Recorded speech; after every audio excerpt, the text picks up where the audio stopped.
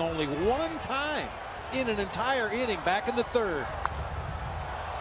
Pops him up first base side. Goldie Montero. Goldschmidt in front of the dugout. One away.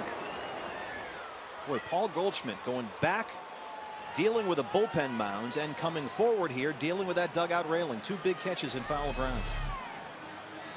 Happiest guy in the ballpark is Miguel Montero. That's a real tough play for a catcher coming out from behind home plate trying to deal with the warning track and the railing over there.